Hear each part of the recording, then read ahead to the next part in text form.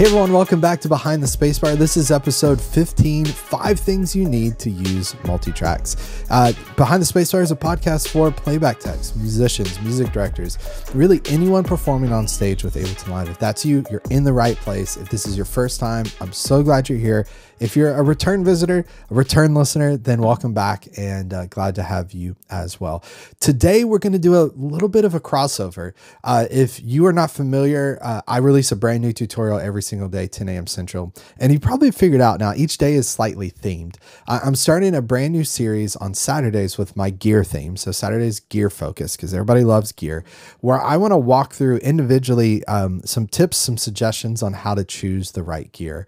But I thought before I do that, I need to talk about the five things you need to use multitracks. This is something I've been teaching for many, many years as kind of a framework, a structure to decide what you need in order to make this happen. But I thought this is more podcast than it is gear related. Yes, it's all about gear, but it would make a lot of sense on behind the spacebar. So we're doing a bit of a crossover. This is like, uh, you know, when um, people from Parks and Rec would be on The Office, or The Office would be on Parks and Rec, or whatever, which they literally were different people. But you know what I mean? Like back in the day, friends and people would come together. Uh, every time I turn on like CBS, which is very rare, other than watch a football game, uh, or um, uh, Fox or whatever, they're like, you know, the ER people and the police people and this people from all the FBI shows and the CIA and the NCIS and the whatever people are all coming together for a giant whatever crossover episode. That's what's happening today. So today we're going to talk about the five things you need to use uh, multi tracks. Um, but then um, uh, starting this Saturday and every other Saturday, we're going to really break down each piece of that and dive in deeper. So today will be a bit of an overview episode. I don't want to dive super deep because we're going to dive deep on those uh, tutorials on Saturday. So I'll link to those as they release um, uh, to the show notes, but I'll link to just our gear playlist so you can find that as it releases. Okay. So let's talk about the five things you need to use multi-tracks. Multi-tracks. Um, this is even really like to use clicks and stuff like the same kind of concept. These are the five things you need. So number one at the top is a computer and you're going, well, Will, duh, like, wow, you know, real, real uh, strong, um, smart thing you mentioned there is that we need a computer. What computer do you need? Now, I always talk about when I get in this conversation, I'm a bit biased because I am a Mac guy. I'm an Apple guy.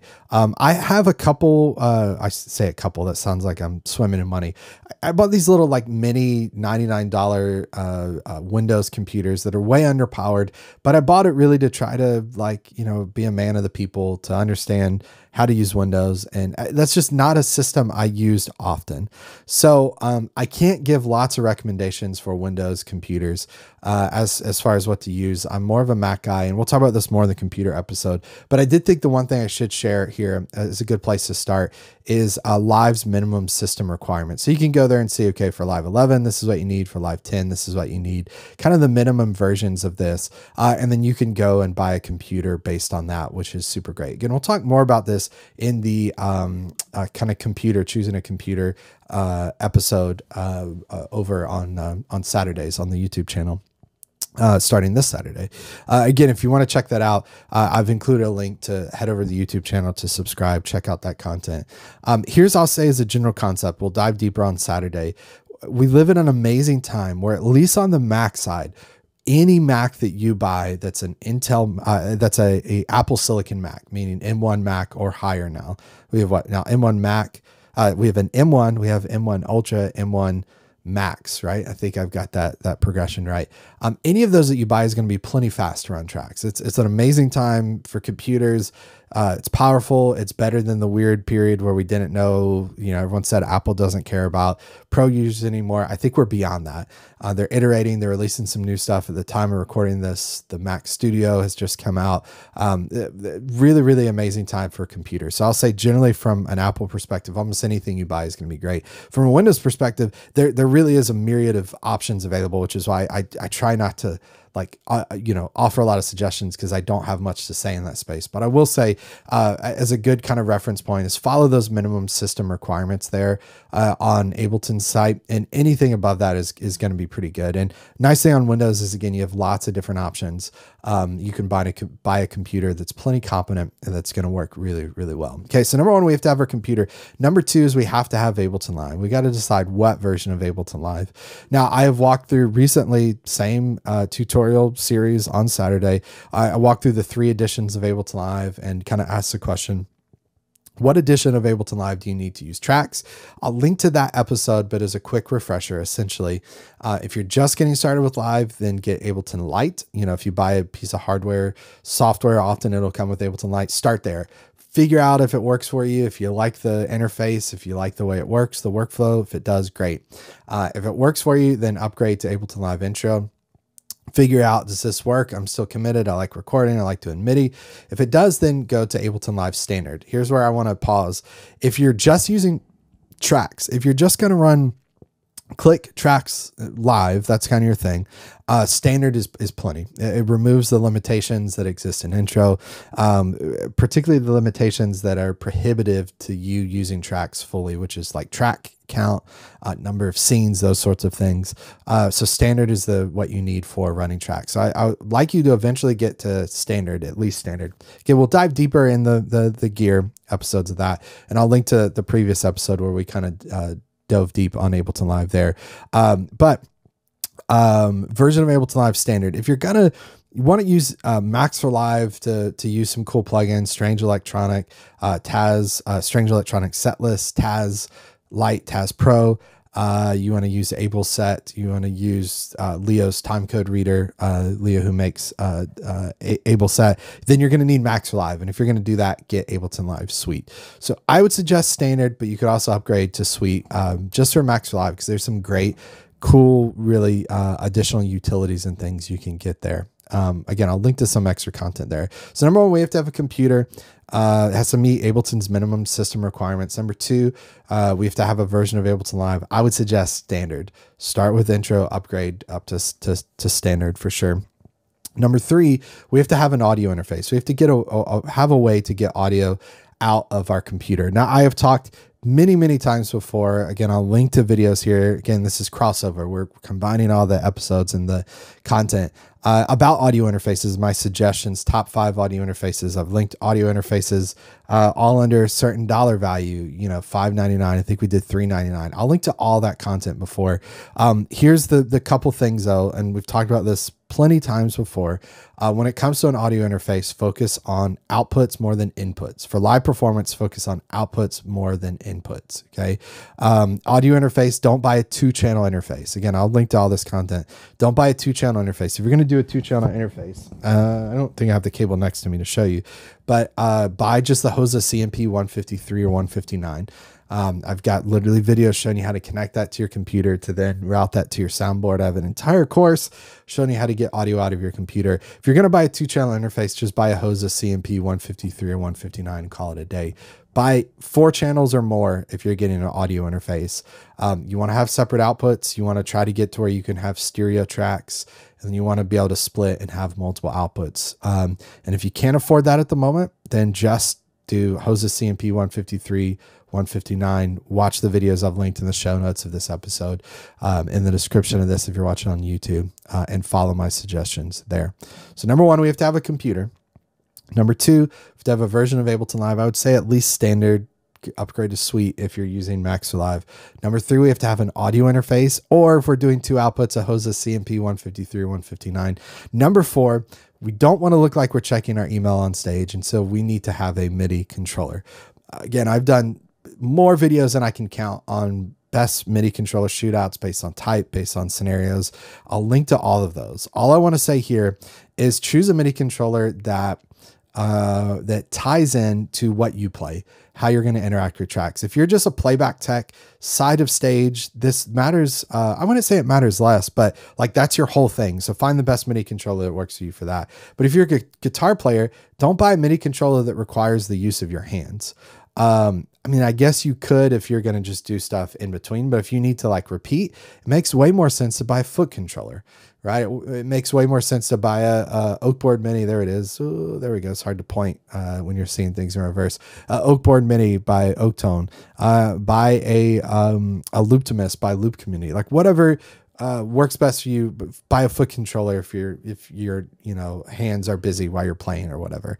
Um, find something that fits you. As a drummer, buy a, a drum pad. We actually had probably one of the best discussions and comment kind of I'm going to say shootout, but people giving a lot of feedback was my Uh, I, I, think I did five best uh, drum pad controllers for drummers, and uh, I had some really, really great comments. And comments on YouTube aren't always great, uh, but some really great comments from drummers giving their suggestions, what they liked, why they didn't like this one pad controller, why they there's kind of a consensus on one, which I'm still pushing that one because I, I think it's still great in the price point. But um, check out all those videos. I'm, I'm going on longer than I meant to or longer than I should.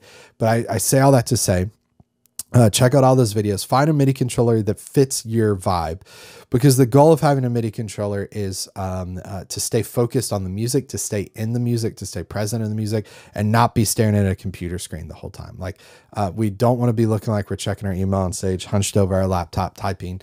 Um, so, we want a MIDI controller so we can move our laptop to the side and interact with our laptop uh, using a MIDI controller. So, number one, we have to have a computer. Uh, find something that meets uh, Live's minimum system requirements. If you're looking on the Mac side, that's basically any M1 Mac, which is great.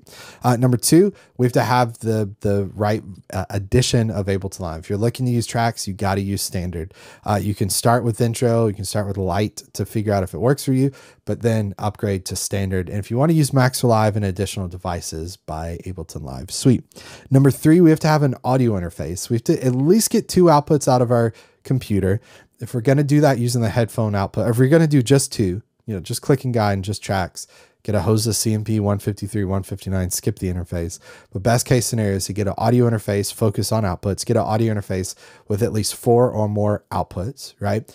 I've got a shootout of a gazillion different things. Number four, we need to choose a MIDI controller uh, because a MIDI controller is going to allow us to not look like we're checking our email on stage, going to give us control over Ableton Live.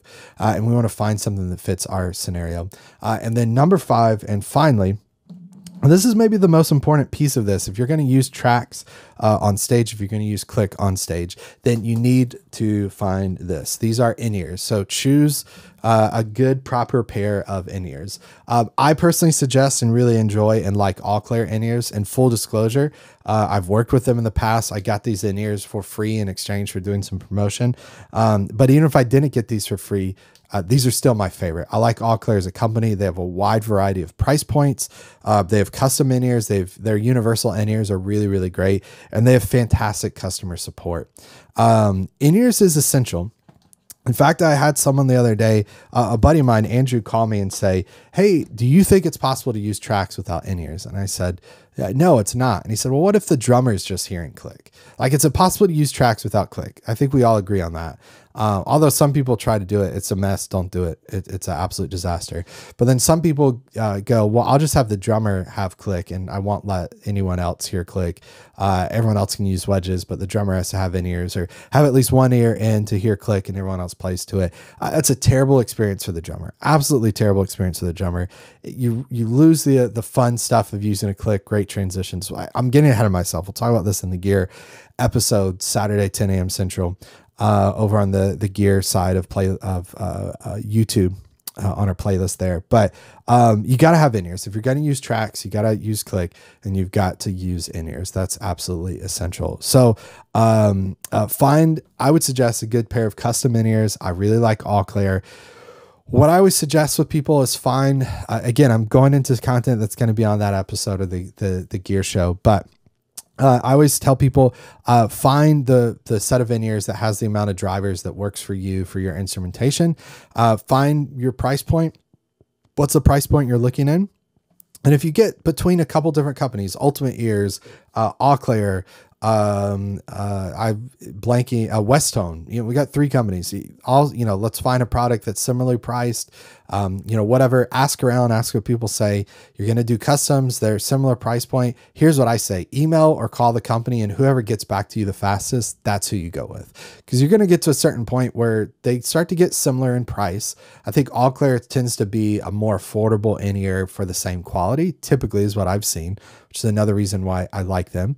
Again, I, am biased because I have their in ears. I have friends that work there. I think they make great products. I've worked with them in the past. So there is a bias there. I understand that. But um, I would say you get to that point where you line them up, call them, email them, whoever gets back to you first gives you the best customer service experience. Go with them. Okay. So, five things you need to use multi tracks. Number one, computer. Um, if you're looking for a Mac, just buy any Apple computer and you're going to be there. Number two, um, you need a version of Ableton Live. I would at least suggest standard if you're using tracks. Number three, an audio interface that's at least four outputs or more. If you can't afford that, you don't want to do that, then a Hosa CMP 153 or 159. Uh, number four, you need a MIDI controller and a MIDI controller that fits your vibe, that fits what you're playing, that makes sense. And then finally, number five, uh, you need in ears custom in ears if at all possible. Uh, find uh, the best price point, the best driver count for your instrumentation, uh, and then worst case, call the company when you line them up to decide there.